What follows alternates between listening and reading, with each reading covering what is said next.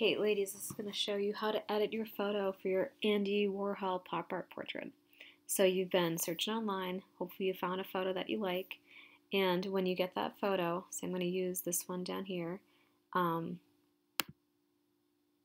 when you click on the photos you'll actually see, or when you hover over them, you'll see sizes in the bottom. Try and pick something with a super large number, preferably in the thousands. Um, this one at least has a thousand on one side. But the larger the photo, the better it's going to work for you. But you find your photo, and when you save it, or when you copy it rather, um, don't don't copy it from the little thumbnail that's in Google Images. Go to the original source of the photo if you can by clicking on it. And then to copy a photo, all you're going to do is hit Control on your keyboard, click on your image, and all um, these options pop up. So click Copy Image, you're going to go to your Word document. And if you just do Command V, it'll paste it for you. And this is where you should have thought about what size you want to make your artwork.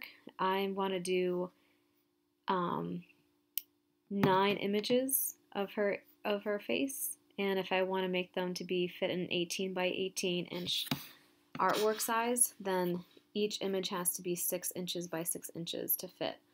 So if I go to the corner, um, and if I drag it in and out, see it gives me little numbers of what size I want to do. So first thing I want to do is crop this down because the image is a rectangle. I want to be a square. So if I click on the tab for picture format, like if I have my artwork clicked and selected, I have a picture format tab. I click on that. I'm going to play around with cropping. And I'm going to get rid of all that negative space that I don't want. And see how it's giving me sizes? That's going to be really helpful.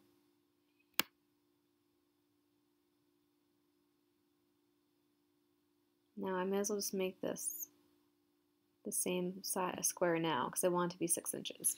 So I now need to make this bigger.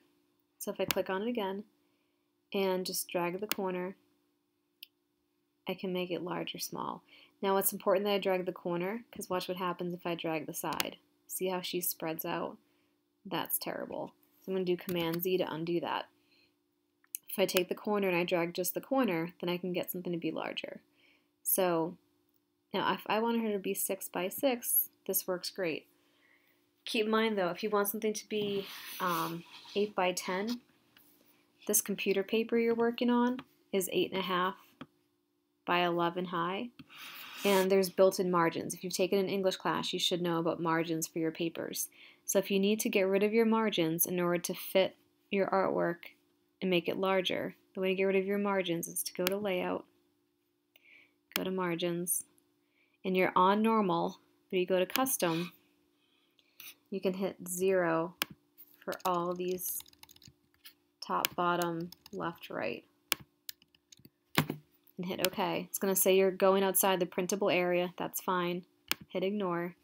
And now see how you have all this more room. So if I want to make her 8 by 8, um, I could drag her out to be even larger. So that's how you change your margins. And if you want to do 8 by 10, you'll have to keep on playing around with everything. You have to make something kind of narrow, make it a rectangle uh, fill the page as best as possible, but it's going to take some problem solving. However, I know I want her to be 6 by 6, so I'm going to go ahead and make her small again. And what you should do after you have your photograph and it's the right size, then I want you to click on it, hit Command C, and then paste it below it, hit Command V. So now you have two of the same photographs. For the second one, click on it, and when you click on it again, you get that picture format tab. And now what I want you to do is go to corrections, go all the way down to picture correction options.